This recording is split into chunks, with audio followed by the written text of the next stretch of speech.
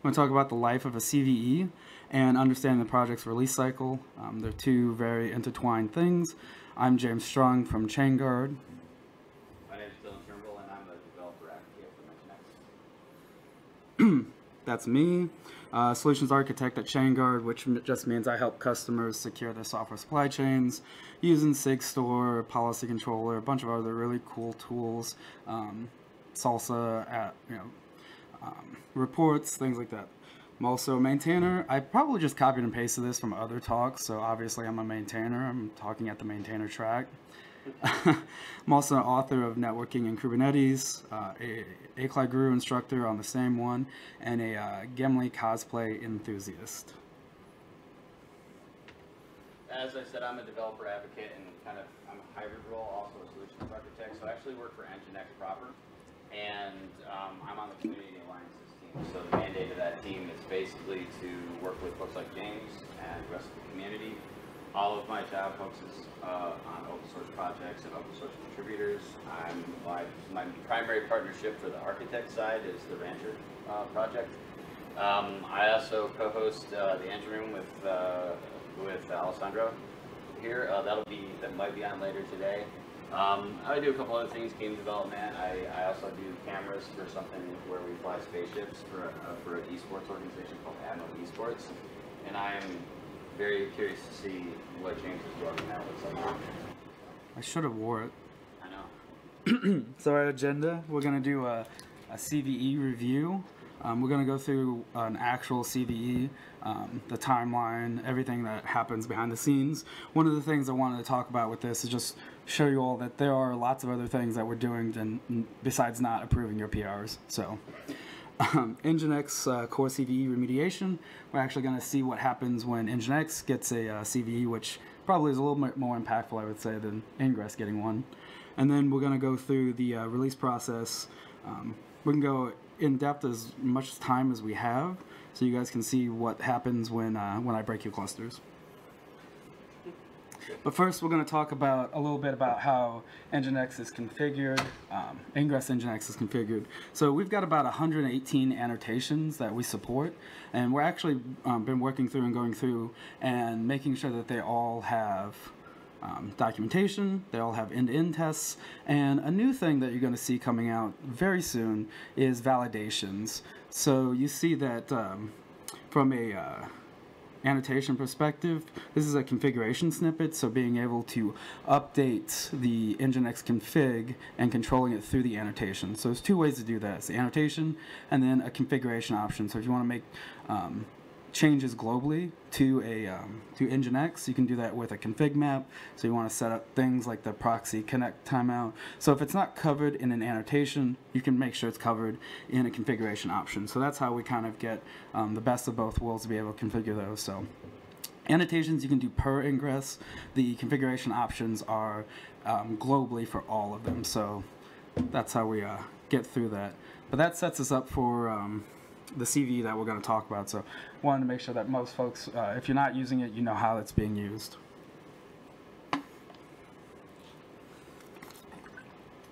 So let's talk about what happens when we uh, when we get a CVE and just walk through that whole process. So uh, we do this in concert with the Kubernetes Security Response Committee. I think that's what the SRC stands for. Thank you, Carlos. He's not in his head.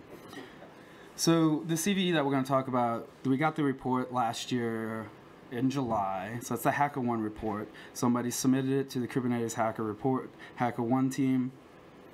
And this is what the report looked like. So there's a lot on here on this page, but the, the piece that was important that we weren't aware of that could happen is that right here, somebody could mount the uh, access token and you could request that. So that's the uh, access token that has access to all of your TLS secrets on your Kubernetes, on your uh, on all of your ingresses. So that was a problem.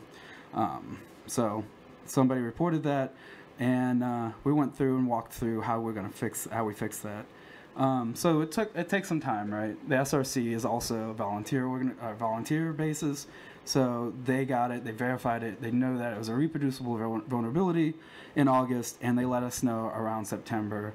Um, they probably emailed us sooner, and I just didn't see it because I get 200 um, GitHub notifications, and everything goes to uh, a label called Ingress. Um, we got a nice email from CJ. He's great. He works with us on the SRC team. There's about five, four or five members. Um, I've got a link in here that um, says who who's all on the SRC and um, the whole process is. So Ricardo put together a remediation. Ricardo's one of the other um, maintainers. He's not able to be here with us. He's here with us in spirit. And uh, we put together that release uh, mitigation and the 101 release.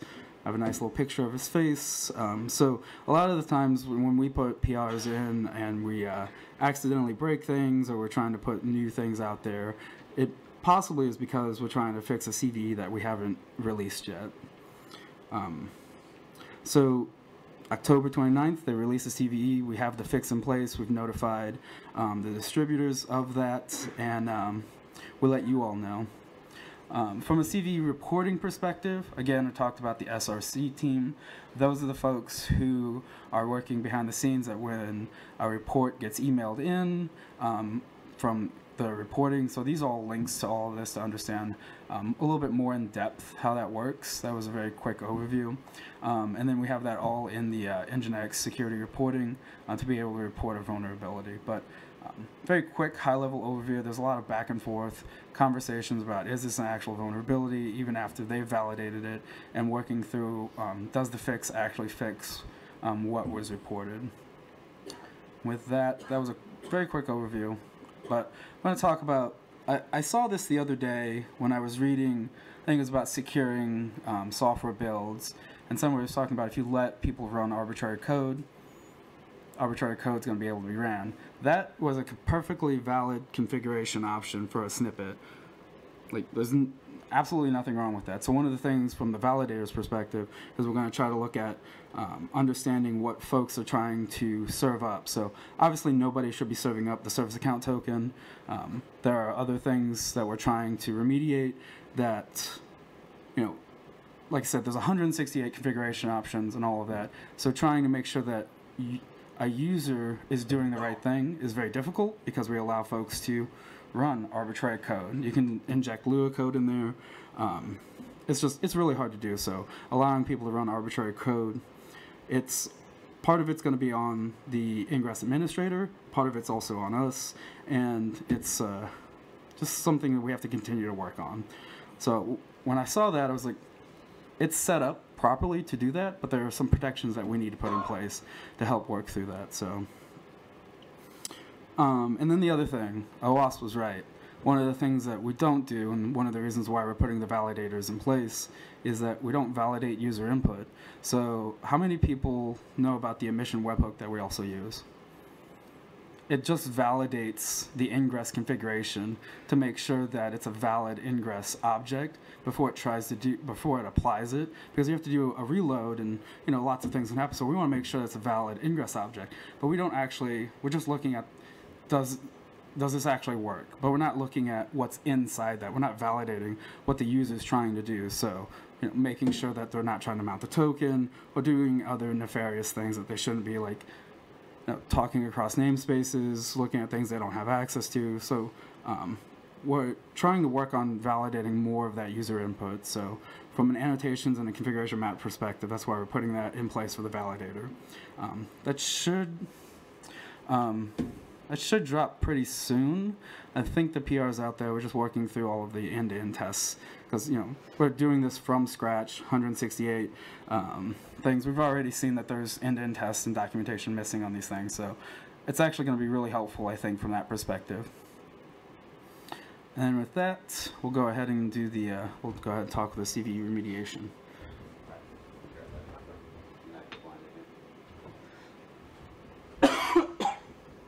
All right, so um, I'm going to cover Nginx core remediation and at a really, really high level. So I sat with the, the core PM, uh, Nina Forsyth. Um, she said it was fine to give you guys her email address, but instead I'm going to just recommend you kind of come on to uh, the GitHub repo, hit up James or I, or get on the Slack channel in Kubernetes and go through me, and then I'll get whatever you want. Uh, any any any questions you might have for Nina in this regard. But basically, the way the way our process works is we'll get uh, we'll get a submission from something like a researcher, and they'll come to us with the CVE, and uh, we'll take the information that they have, and then we validate it by putting through it a set of, putting it through a set of like you know tests. We all get in a room, we kind of argue over what is and what is correct, what the the threat vectors might be, some of the things that also happen during this process is we we first we're we're just we're trying to decide is this or is this not a vulnerability. It, it obviously is almost always a vulnerability, but is it mainstream or not mainstream? So the big differential there is that sometimes we'll get vulnerabilities that are that are very the use case is very small so they're super they're they're they're edge cases they're very limited so some of those we just kind of say okay this is more academic in nature so we we, we kind of put those in the this is nice to know but we're not going to do anything to fix those. But um, um, in other instances uh, the ones that make it to public we'll find out that those are legit vulnerabilities. Those get published. We work with the researcher to to establish you know how we want to do this. Then then that the, the next process is the information about that vulnerability goes into what's called an embargo and basically the embargo is is we work out with the, the researcher and the reporter uh, what types of information can we relay what can we send out to the public what do we basically need to keep uh, keep under wraps so that ultimately when this does hit prime time the researcher who makes their bread and butter off of finding and, and writing about these things can get the credit for the discovery process. There's no real money that, that there's no money that exchanges hands. It's all basically a credibility-based industry. Um, so the next part of the process is essentially we've qualified it for mainstream. Its feasibility is deemed an actual threat, and then we basically go through the process of looking at further edge cases. So in some cases, we'll get a vulnerability. It'll come as one vulnerability, and then after we've done a bunch of research on it, we'll figure out, well, this is there's actually three vulnerabilities. So we'll basically publish additional CVEs to cover the additional threat vectors um, that occur there. Um, this is also the point at which we kind of sort of decide how are we going to fix this. What is that release process going to look like when we do fix it, and you know how do we want to go about the next steps? That process in total generally cut, takes roughly around two weeks. So it can be anywhere from three to seven days of just debating about, you know, what uh, the stuff that we just talked about, and then there'll be a, a, a, a point, a part of that week where we're kind of figuring, okay, how do we want to do this? And there's like two weeks of actual code. Generally, we'll get something out. Um, so this is when the next step of the process, we start working on the bits to, to publish the remediation, which quite often comes in the form of a patch. And when I'm talking about core, I probably should have uh, uh, qualified what that means. That means Nginx proper. So you go to nginx.org, you got the list of builds that are up there. That's Nginx core. So while it is the it is the the upstream or the progenitor for what happens in the Ingress SIG, it also is um, used in by all of the distros for for uh, building distro packaging and a whole bunch of other things. So this this uh, when we get a CV, it not only affects Ingress, it affects literally the 1.7 million use cases out there that use Nginx. So we're incredibly tight-lipped um, and careful about how we fix things because obviously one one minor mistake and you have you know you know 20 million websites that all of a sudden are not are losing money. So we, we really don't want to do that. Um, so um, once that's decided, it's around two weeks of actual code, and then by the 30th day, we're usually looking at cutting a patch. Um, that's that'll go out and you know uh, during that time we'll notify the the the, the reporter. We'll we'll lift the embargo. Uh, folks like James will get um, information actually uh, right around that time uh, is when anybody who is an interested party um, is able to get the information. Now, when I say get the information, we don't have like a proactive notification that goes out, with the exception of the list of PGP encrypted email um, uh, members that are a, part of the original uh, cert submission. Um, now, this is something that we've kind of looked at as how can we make this, how can we shortcut that process to make things faster for James and the Ingress SIG as well as distros and their packaging and on and on and on because obviously, the quicker we can get that out to the universe, anybody who's done their fair share of coding in here understands that busy polling is a wholly inefficient, uh, inefficient way to do anything. So proactively notifying people when that's available, that's something we're kind of working out the details on, so that's something we could look forward to in the future. And then 90 days is kind of this industry standard.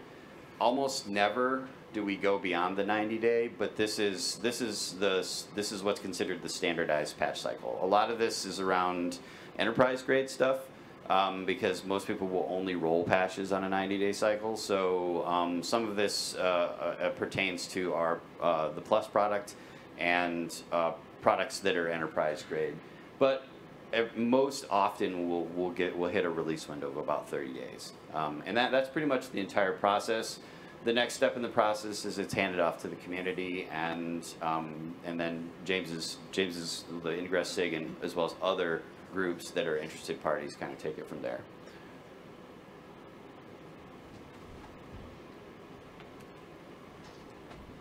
We're doing real good on we're doing real good on time. So, um, if you have questions while we go through this release process, um, just just ask. Um, we got 15 minutes still, so I know we've got time for questions and things like that. So, as I talk about this, if you don't know what the release process is, or if there's something that's like, what is he talking about? Um, just throw it out there. So the uh, Ingress release, Ingress Nginx release process.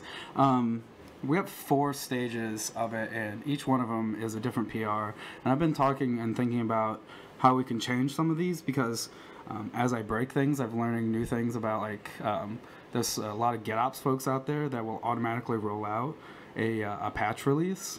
So that's fun to know. And if I accidentally release a breaking change on a patch because I didn't know breaking change was in there, I, will I'll break things. So just learning and understanding, I need to be very um, aware of things that could go wrong. Maybe not as uh, huge of an impact as uh, Nginx, but still, you can break a lot of clusters at once. You, you like breaking things, so. Yeah, well, you know, that's how I learn about it. Nobody tells me they're using Ingress Nginx, so I only know when uh, people are using it when it's broken. Um, yeah, what is it? The best way to figure out who's using whatever rack thing you've got going on there is to pull the network cord and find yeah. it and wait for the emails to roll in. Exactly. Um, so one of the first steps, right, is that we uh, we, we manage this with a tag file. The tag file gets updated. That's the uh, 170.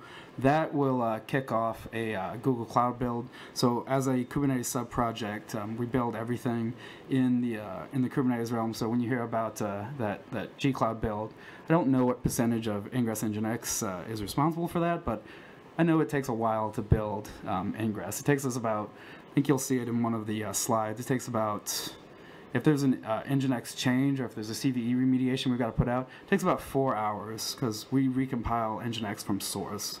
So that build could take four hours if, if it succeeds. So uh, is anybody using S390X, by the way? No? Oh, that's going on the deprecation list. I don't see any hands. So we build across uh, five or six different architectures across four or five Kubernetes versions. Um, and then a lot of other things that I'll talk about in a later slide, but um, that all gets built in this first PR. So that gives us the container image for the new um, Nginx, either the Nginx or um, the controller. So all of our end-to-end -end tests, everything that we're running, we build on top of an Nginx base image. So if I if there's a change or a vulnerability in Nginx or any of the pieces that we're using, that's two container builds. So I have to build the Nginx container. I have to update all of our testing um, framework to use that new Nginx build, and then I can release a new controller. So um, I didn't even talk about that piece. That's a that's a pre-PR for all of that. So that's kind of how things are built across that. So once I've got that new container build, um, SHA, um, since also we're a Kubernetes subproject, we also have to do image promotion. So the image promotion takes that from staging into the production. That's another PR for the uh, Kubernetes org. How many people knew that about those staging, about the promotions? Carlos, don't raise your hand. You know about that. You write the code for it. Shaking your head. So in order for us to get that image out to you all, we have to do what's called the, the uh, promotion. So it's another PR, another piece of YAML.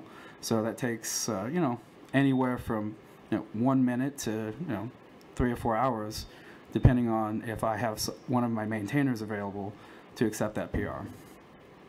Um, so that does the push, that does the prow build, that signs the container, that gets everything ready. That's the point where the uh, the folks who do the patch releases, the GitOps folks, um, if it's available, they'll run it. And I haven't even done a release yet, so um, that's part of the release part that we're thinking about maybe changing of doing the GitHub release and then doing this this staging uh, promotion. That way, it's not available for folks to try to use. But I'm wondering how many, how fast some of you are are going to yell at me that that image isn't available when I do a GitHub release. Or, or how fast is your automation at picking it up? So we're we're working on trying to figure out how to optimize the build on trying not to break uh, things or making things available until we've actually officially announced them. Excuse me. This is the one that uh, that uh, recently has been automated. So all of those pieces are pieces of documentation. So updating the Helm chart, we have to update update the Helm chart version. The Helm chart has its own versioning strategy because a, a configuration option for a Helm value could change, but the controller we're not updating. So um, we can release the Helm chart separately and independently, but with a new controller version, we have to do uh, a version rev of the Helm change of the Helm chart. It also uh, requires updating the change log as well. So Helm, it's got its own release cycle, it's got its own change log, but also we have to update that as well. Um, and the version controller update. Uh, the changelog update, we've been working really hard on uh, automating that as well. It was an artisanal note that took me about um, three or four hours to uh, handcraft and try to understand. Um, that's mostly automated now. Um, and then also the documentation update. I'm actually thinking about getting rid of that last piece, that documentation update, because really all it is is changing the version string in the examples to the current version. I'm just thinking about just putting it to main so I don't have to update that one. So just um, working through some of those thoughts. So that's the one that's uh, completely automated now from that perspective. But again, that's the third PR in, in this whole process. And then we've got that PR, we've got everything in. I tag the release and I make an actual official GitHub release. That's the end part of the cycle of saying that there is a new release. Here it is. But like I said, it's been available already for possibly a day. And there's no release note. So when people, uh, when things break or if something happens, like, guys, we haven't even released this yet. So can we not can we wait? So we've got to work on you know that timing and the communication. Um, part of that is uh, you know utilizing the uh, Kubernetes Dev mailing list more. Um, we actually have a very old Twitter handle that I'm getting the username and password for because uh, KubeCon's great for uh, tracking people down in person who's not answering your Slack DMs. I know that because some of you do that to me, so I do that to others. So you know, it's great to talk to people in person. So incidentally, that's that's that's one more person than we currently have to, to work on the, the SIG right now. So um, and I don't know who, who in this photo is who. Do I get to be bomber? Uh, sure. Okay, thanks. I don't know. I'm I don't. I don't know who I'm who I'd be. I'm, I'm just gonna be awkwardly standing up there. I, I use all my energy at karaoke, or apologize to all of you, but uh, that's that that is the high level of the change release process. And again, like I said, it's three GitHub PRs and a GitHub release. Um, only the one piece is automated right now, um, so that could take it. It could take anywhere from 30 minutes if we're on a Zoom call together and we want to get it out very quickly, to maybe taking a week because people aren't available, people are on vacation. We only have three maintainers who can approve that. One of them is in China, and the other one is also has a day job as well. So um, we're working um, with SIG Contributor X. Um, I did a couple workshops this week trying to understand how we can help build a community so we can take people who are one-time contributors to getting them to a reviewer to ultimately getting them to approvers so that we can help grow and get this to be a little, little bit faster. Um, we know that there is a backlog of PRs and issues. Um, one of the ways that you can make sure that you can get your PR um, pushed through or you get your issue talked about is coming to the community meeting. You come to the community meeting, things get talked about, things get worked on, and they get pushed through. That's how we got the Open Telemetry module updated. Is anybody using the new Open Telemetry module? Did anybody know that you could use Open Telemetry now with Ingress Nginx? Thank you, one person, for validating How, me. how many people didn't know you could? Don't don't do that to me. so uh, part of that is on is on the maintainers as well as getting that information out there. Um, so trying to work on understanding how we can get more information out to the community. We have the two Slack um, mailing. We have the two Slacks um, channels. So we're just working on what's the best way to get this information out to folks. Um, I already talked about um, that, but uh, just want to, I'm going to click through this so folks can understand. I presented this at the last KubeCon. I just want to keep reiterating this to folks. There's a, there's a lot that goes into Ingress Nginx that's just not Nginx or the configuration options. So if they're with Golang, Alpine, Nginx, and Lua, if there's a patch that's needed in any one of those, or if there's, you know, when we do an Alpine update or a Golang update, a Go, the Golang update is the same. We have to update all of our test runners so that we can actually compile it against that Golang version. So that's two more PRs, one to update the image and one to update the SHA for all of the testing. Same thing with Alpine, Nginx, um, and with Lua. So um, did anybody know that we have a kubectl plugin? Yeah, I got two, two, two. One's better than two, so getting there. Um, so the kubectl plugin, that's also something that we have to maintain. We've worked on automating that as well, and we fixed it. Um, the, the whole Mac um, switch on architectures helped fix that and shed light that we weren't actually releasing new kubectl plugins. so again, just learning new things. I think I've been doing, I've been helping maintain the project for, oh wow, two, three years now, and I'm still learning new things about it. So trying to lower that curve for new people, that learning curve for new folks. Um, two monitoring frameworks, that's going to go down to one once we deprecate those and push everyone to using the OpenTelemetry module. So not going to do that until everyone knows that the OpenTelemetry module is available. So thank you for that data point. Um, third-party plugins. So um, from a Lua perspective, you, if you need a Lua module or if you need, uh, I forget, I don't know the plugins off the top of my head. So we help ma maintain three of those. Like I said, four-hour build time. If there's an Nginx change, so there's just a lot that goes in. So the any changes in those Nginx modules um, that we use, or someone requests a new one, um, and I'm not even going to talk about that number, the the depths command line flags. So there's just there's a lot with the 400 end-to-end tests. Our end-to-end tests across those Kubernetes versions, and now with LTS, we're gonna have to do n minus five.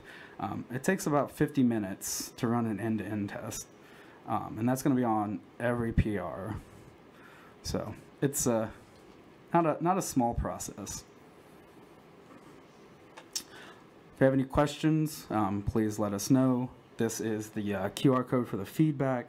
Uh, let us know how it went. We've got the links. This I haven't uploaded this yet, um, but I'll I'll tweet this out. I'll put it in the Slack user channel, um, the Slack dev channel, and try to get it out there. But um, we have a dev channel where we talk about the release process, PRs that we want to work on, things that um, the maintainers um, need to work through, and then we have the user support. How many people ask questions in user support?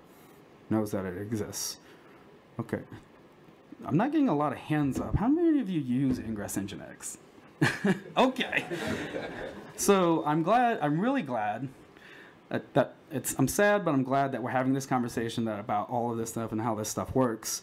Um, because I, I figured that was the case. A lot of people use it, but they don't understand how the uh, how the sausage is made. So when when you guys go looking for new features and updates to Ingress Nginx, where do you look? I'll bring a mic to you if you want to talk. In the release notes? Just in the release notes, okay. Well, that's that's good to know. Um, we have new we have a new contributor doc, but uh, I think it needs work. I mean, always needs work. Our docs always need work. Um, we meet every Thursday at 11 Eastern. Um, we've been trying to think about and move about the times, but you know, it, it's hard because it's the middle of the day and everyone's working. And if you want to talk, uh, if you want to see about uh, what we do talk about and the meetings, um, community meeting playlist is out there as well. Um, right on time, I guess. Any questions? If you have a question about a PR, just no. I'm kidding. I'm kidding. What's up? So you mentioned the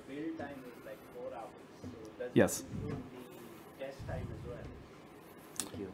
So the question was, uh, I mentioned the four-hour build time. Does that include tests as well? Uh, no. That's that's compiling. So I'll go back. That's when I say four hours. So we, because we use Lua modules and a bunch of Nginx modules, we have to compile Nginx from source. We can't just use the Nginx binary. So that's the four-hour build time, and that's that's across the, how many? The four architectures. And that's why I asked the question, because usually when S390 fails, it fails the whole build, and that's really annoying. That's that's why I asked the S390 question.